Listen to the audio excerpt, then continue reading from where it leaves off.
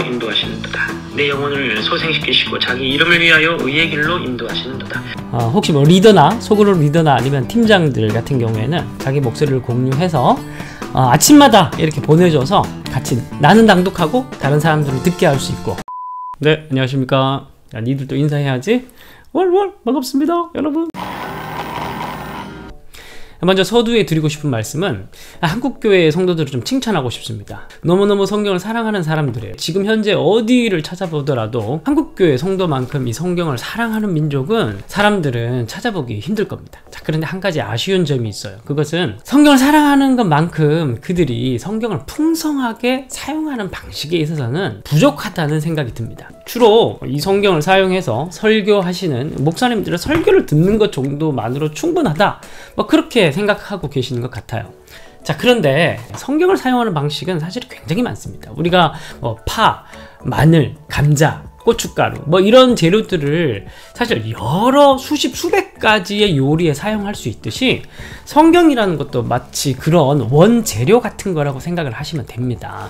그래서 여러분들이 이 성경을 때로는 읽기도 하고 때로는 소리 내어서 낭독하기도 하고 때로는 누가 낭독하는 것을 듣기도 하고 또 때로는 누가 이 성경을 설교하는 것을 듣기도 하고 연구하기도 하고 뭐 여러 가지 많은 방식으로 우리가 사실은 이 성경을 풍성하게 사용할 수가 있어요. 그러면 우리의 신앙은 훨씬 더 풍성해지겠죠. 자, 그런데 우리 생각을 한번 해봅시다. 성경시대 사람들은 과연 성경을 어떻게 사용했을까요? 히브리어로 카라라는 단어가 있습니다. 뭐 카라 하면 뭐 이 카라. 히브리어로 카라라는 말은 바로 낭독하다, 읽다 이런 뜻입니다. 자, 그런데 이 표현이 성경에 굉장히 중요하게 많이 사용된다는 점입니다. 자, 우선 신명기 17장 18절을 보면 제사장은 이 성경 등사본을 만들어서 왕 옆에 늘 옆에 있으면서 성경을 늘 읽어주라고 합니다. 신명기 31장 9절에서 11절 말씀을 보면 이스라엘 같은 경우 초막절이 7년에 한 번씩 돌아왔는데 7년에 한 번씩 이스라엘 백성들을 다 모아놓고 제사장들은 성경을 읽어주라고 합니다. 성경을 낭독하는 거예요. 그 낭독하면 백성들은 듣고 아멘하고 그리고 신명기 30장 11절에도 낭독하는 말씀이 있고 또 느헤미야서 8장 8절에 가보면은 이스라엘 백성들이 포로 귀환하고 난 뒤에도 매일같이 그들이 집중해서 했던 게 바로 성경을 낭독하고 듣는 거였어요. 신약 성경에도 보면 골로새서 4장 16절을 보면 바울이 라오디게아 교회 성도들에게 이 편지를 보내면서 이 편지를 너희들이 읽고 또 다른 사람들 읽어주고 계속 서로 돌려서 읽으라고 합니다. 낭독하라고 합니다. 왜 그렇게 성경은 낭독하라는 말을 계속 반복하고 강조하고 있을까요? 성경 시대 당시에는 종이가 없었기 때문에 그 사람들은 파피루스나 양피지를 사용했기 때문에 그 사람들은 개인적으로 성경을 가질 수가 없었어요. 성경은 아주 희귀했고 그 희귀한 성경을 접근하기 위해서는 듣는 수밖에 없었어요. 자, 그런데 여기에서 굉장히 중요한 포인트가 있습니다. 이 성경을 기록했던 성경의 저자들은 성경을 기록했을 당시에 용도를 낭독하기 위한 용도로 기록했다는 거예요. 그러니까 성경의 문학적인 구성은 기본적으로 낭독이라는 목적을 가지고 기록되었다는 거예요. 우리가 성경을 이렇게 묵상할 수도 있겠죠. 막 깊게 묵상하고 생각하고 연구하고 뭐 그렇게 할 수도 있겠죠. 그래서 사실은 가장 성경이 원하는 방식으로 우리가 성경을 대하는 방식은 바로 성경을 소리 내어서 읽는 방식이라는 겁니다. 짧게 제가 이 성경을 낭독했을 때 유익을 네 가지 말씀드리겠습니다. 첫 번째가 성경을 낭독하게 되면 성경을 소리 내어서 읽게 되면 우선 발음 기관이 움직이게 되고 그 다음에 소리가 날 때 공명 기관이 움직이게 됩니다. 읽으면은 이 호흡 기관이 같이 이 호흡을 조절하면서 가야 되거든요. 그러니까 발음, 공명, 호흡 이 세 가지가 동시에 움직이면서 또 우리 몸에 이 아드레날린이 막 분비되면서 이 성경을 읽게 되죠. 근데 건강해집니다. 이 낭독을 하게 되면은 단순하게 앉아서 생각하면서 뇌만 움직이는 게 아니라 우리의 전 인격을 다 우리의 몸을 다 사용해서 말씀을 대하게 되는 거죠. 그리고 두 번째로는 성경을 소리 내어서 읽으면 이 소리가 다시 귀로 들어갑니다. 저 같은 경우에는 중요한 주제를 제가 정리하고 싶을 때는 먼저 녹음기를 들고 그 중요한 주제를 먼저 말을 합니다. 말을 하다 보면 소, 내 소리가 귀로 들어오고 귀로 들어온 소리를 다시 뇌에서 분석해서 더 명료하게 만들어요.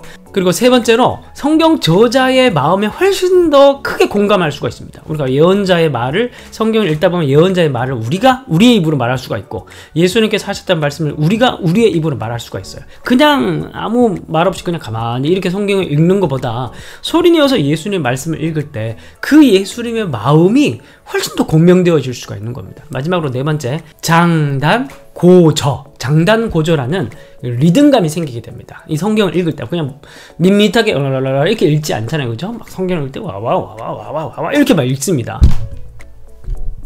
그러면 가만히 앉아 읽는 것보다 훨씬 더 큰 울림이 우리 안에 있어요. 네, 오늘 보니까 좋은 오늘 보니까 좋은 어플이 하나 출시가 됐더라고요. 그것이 바로 어, 바로 따라 읽는 성경 통독이 있더라고요. 최근에 최근에 어플이 개발이 됐고 아이폰까지 아이폰 버전까지 나왔습니다. 따라 읽는 성경 통독이라고 제가 우선 다운로드를 한번 받아 보겠습니다. 어, 유료일까요? 무료일까요? 예. 무료인 것 같습니다. 아, 무료네요. 무료, 무료. 예, 평가가 5.0. 예. 자, 따라 읽는 성경 통독이라고 어, 새로 어플이 나오는데 한번 열어보겠습니다. 자, 어, 이 어플을 제가 한번 사용해 봤는데 에, 낭독하고 그리고 낭독뿐만이 아니라 이 낭독했던 소리를 내 소리를 녹음할 수가 있습니다. 그리고 녹음한 소리를 내가 다시 들을 수도 있고 녹음한 소리를 공유까지 할 수가 있습니다. SNS에. 그래서 낭독 위주로 낭독 위주로 활용할 수 있는 어떤 프로그램을 구하는 분들에게는 이 따라 읽는 성경 통독 어플이 굉장히 유효한 것 같아요. 쓸모 있는 것 같아요. 자, 그럼 한번 다음, 다음 넘어가고 한번 되게 직관적이고 되게 사용하는 건 간단했습니다. 우선 창세기 이 12장을 한번 해보겠습니다. 제가 좋아하는 12장. 자, 한번 통독 시작해 보겠습니다. 통독 시작. 3.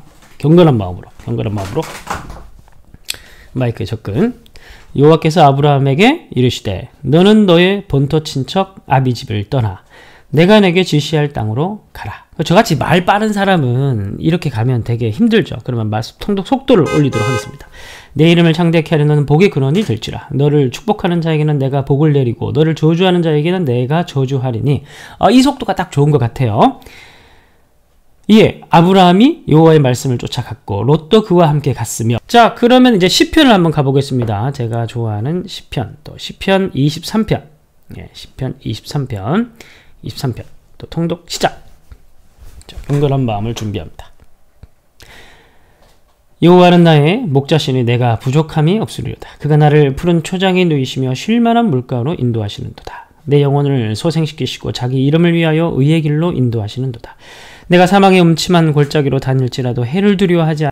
자, 녹음이 되는가 한번 확인해 볼까요? 나의 통독 듣기. 나의 통독 듣기로 들어가서 자, 10편 읽었던 거 한번 재생해 보겠습니다.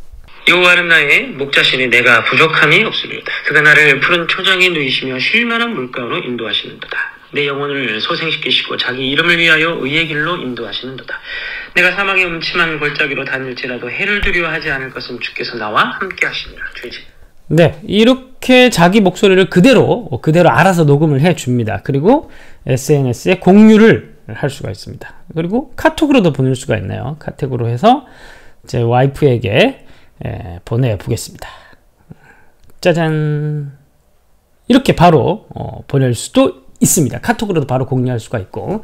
그리고 뭐 단톡방에 성도들에게 자기 목소리를 공유해서 어, 혹시 뭐 리더나 소그룹 리더나 아니면 팀장들 같은 경우에는 자기 목소리를 공유해서 어, 아침마다 이렇게 보내줘서 같이 나는 낭독하고 다른 사람들을 듣게 할 수 있고 그렇게 공동체에서 활용할 수도 있을 것 같습니다. 성경 통독 어, 어플 활용법까지 살펴봤는데요. 정말 여러분들이 이 성경의 풍성한 활용을 통해서 하나님을 더 사랑하고 여러분들의 신앙생활이 풍성해지기를 간절히 바랍니다. 네, 오늘은 여기까지 하도록 하겠습니다.